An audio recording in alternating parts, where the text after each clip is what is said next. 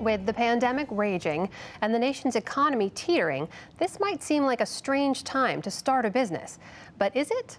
Paul Solman considers this question as part of his regular series, Making Sense. 24 year old Saida Florexiel, deaf since birth, working at a hothouse for startups in Florida. My company is Imanico. It advocates for communication accessibility and deliver a live transcription technology to help people who are deaf and hard of hearing with communication.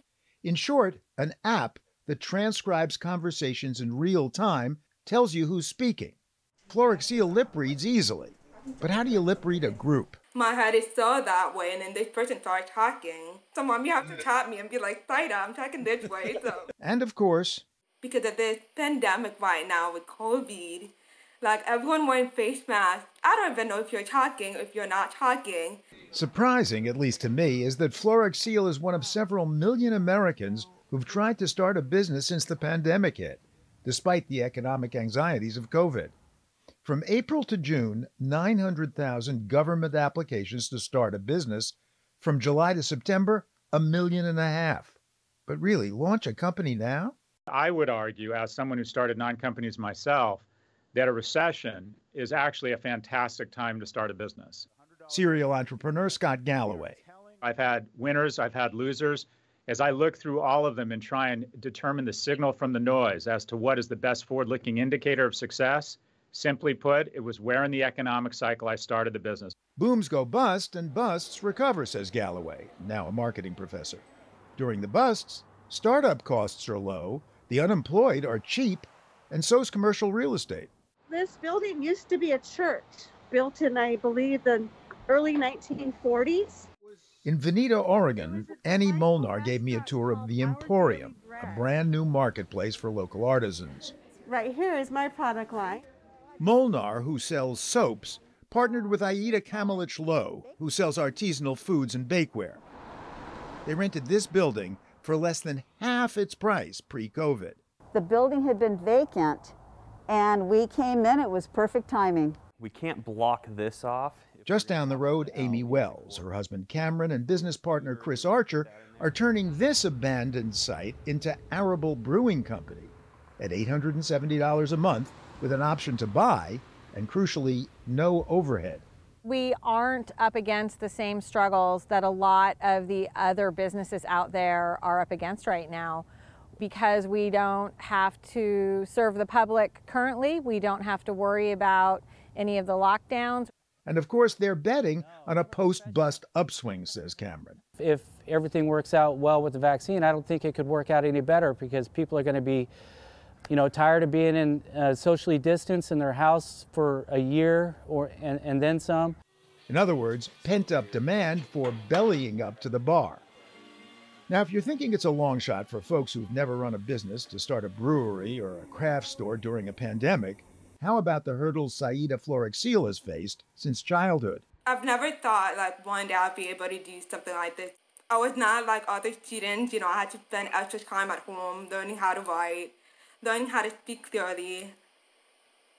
I spent hours, years going to speech therapy, learning how to pronounce my name. Florexiel is saddled with student loans, car payments, but with so many lips impossible to read because of masks these days, she's hopeful. And in addition, one thing I've learned is that a lot of big companies started during the recession. So why not take that opportunity? On the other hand, oh my gosh, I don't think I'm crazy for doing this. Now, some would say Florexiel is crazy. Pandemic aside, half of new businesses fold within five years. And starting a business in America has become more and more dicey for decades, as even Scott Galloway acknowledges. For the last 20 or 30 years, it's actually a very difficult time to start a business.